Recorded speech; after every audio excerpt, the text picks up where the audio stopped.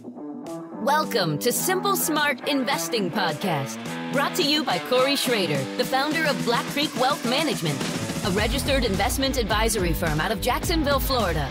Information presented is for educational purposes only and does not intend to make an offer or solicitation for the sale or purchase of any specific securities, investments, or investment strategies. Investments involve risk and, unless otherwise stated, are not guaranteed. Be sure to first consult with a qualified financial advisor and/or tax professional before implementing any strategy discussed herein. Past performance is not indicative of future performance.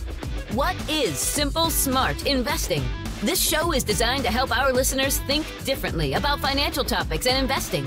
Cory has over 15 years of complex trading, investment management, and comprehensive financial planning he wants to share to serve others. The landscape of investing is changing, and to be successful, Cory wants to introduce to his listeners alternative thinking around their investing so they can make impactful decisions to work towards their goals quickly and safely as possible.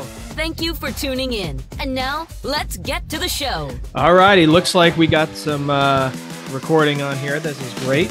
So, welcome to the first ever episode of Simple Smart Investing. My name is Cory Shrader. I'm going to be your host. I am super excited to be launching this the Simple Smart Investing podcast. Basically, the focus here is how do we look at things and challenge the status quo of investing, and why is that important?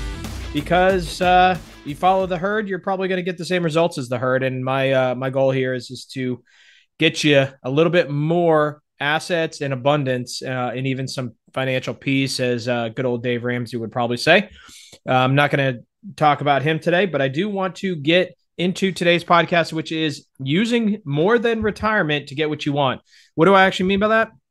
I'm talking about more than just looking at your retirement assets uh, to actually start thinking about the future today. Most people are just told, hey, let's go ahead and save, let's keep that party going.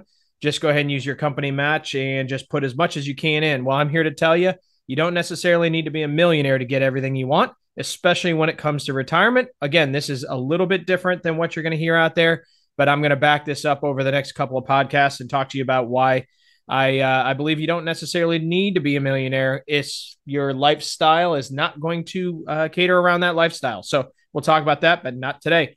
So again, today we're going to be talking about how do I use more than retirement? What does that actually mean? So how much is enough when you actually look at retirement? Well, again, want to look at what do we want to be in the future? What are we shooting for?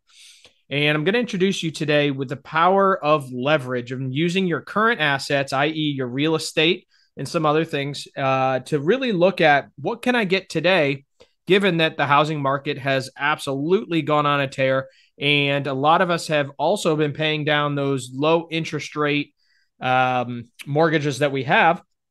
And now there's a little bit of a buffer in there that we can use to our advantage to actually scale up our assets and build more of that net worth or like I said, get what you want today for what you're looking at in retirement. So let's look at that for a second. So when you're talking about your budget and you're talking about what do I want to do uh, in the future, if you're using, let's just say 3%, let's say you have a hundred thousand, that's about $3,000.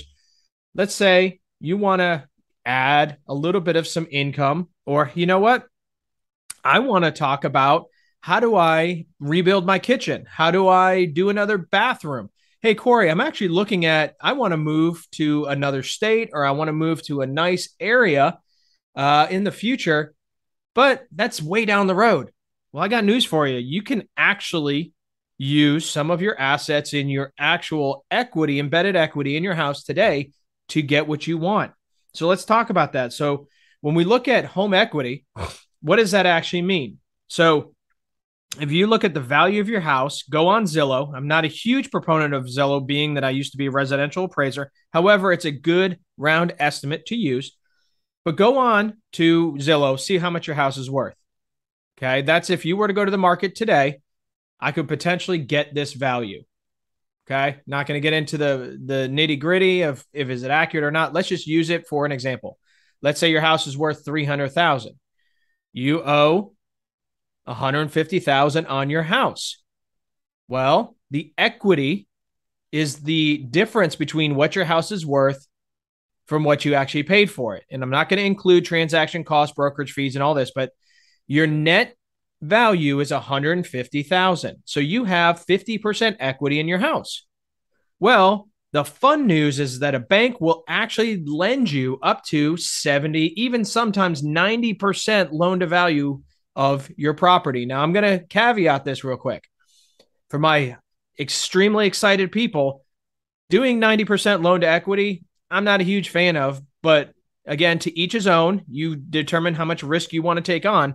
But you can do, let's say, 70% loan to value, which means you're still going to have 30% equity in your house when you take money out.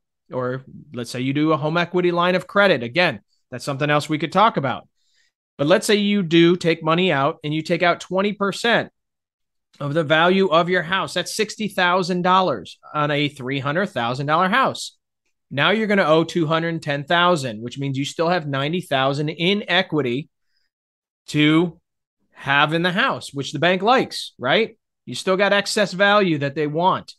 Well, that means you've taken out $60,000. Well, what is $60,000 on 300? That's 20%, right? Well, that's actually what for an investment property or even a secondary home, a bank's going to require that you need to put down to buy it, which means you can move that equity to that vacation house, to that retirement home that you wanted. And that's for a $300,000 house. Maybe you want to do a $200,000 house. Well, now you don't have to take out as much, right?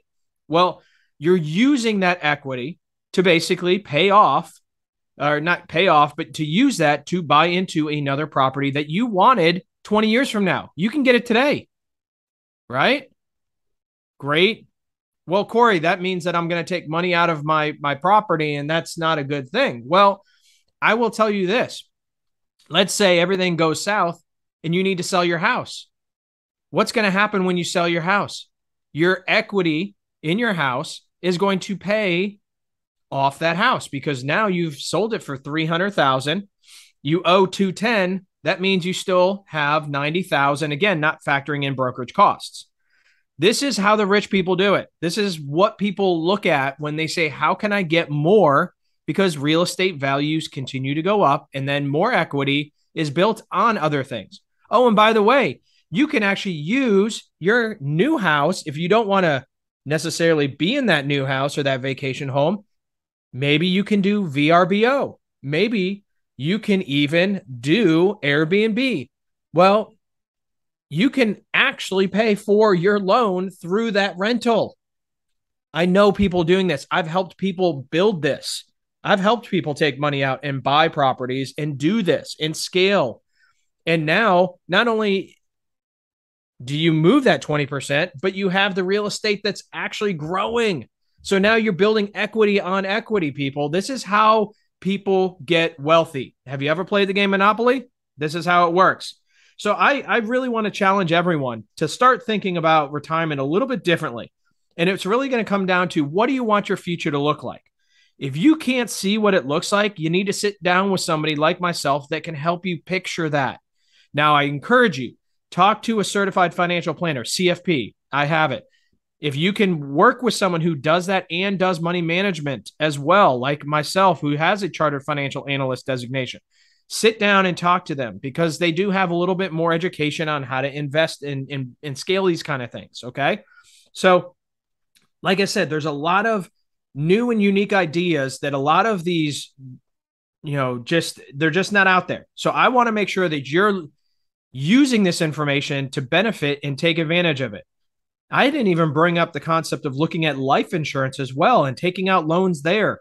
If you have a whole life policy and you're able to take out loans this too can also be a great way to use leverage well, I'm going to have some people out there that are going to say, well, Cory, real estate doesn't go up forever. What about these rising interest rates? All these kinds of things, right?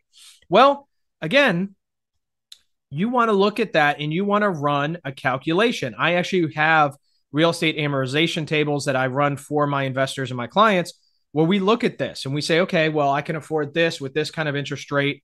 Cory, how do I do this? What is that type of thing? I will tell you this, and I I have my own residential appraising business for 10 years, and I used to do not just rentals, but I used to also do appraisals for banks. Real estate is one of those things where we are running out of land.